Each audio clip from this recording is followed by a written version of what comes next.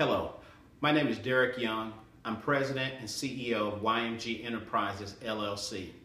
I am excited about the opportunity to potentially become the new executive in residence with the Entrepreneur Center. I'm excited because I'm developing a new web application called Hindsight. Hindsight is an application that's specifically designed to help millennials better understand the workforce that's been created by boomers and traditionalists. In most cases, most of the learning that's out there is designed to help boomers and traditionalists understand millennials. And while I think that's great, the big reality is this. Our very own mayor, Megan Barry, said that Nashville is the number one city for millennials.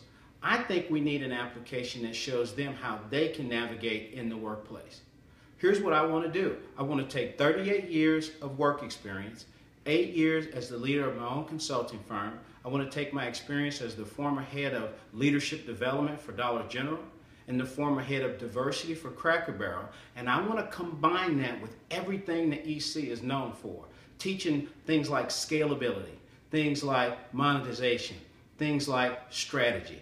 I really believe that if I could take my content and partner it with what the EC offers, I think we can have a phenomenal tool that'll be great. Here's my hope. I really hope that you all will say, He's our person. And I also hope that by working together, we can produce a winning web application. Thank you.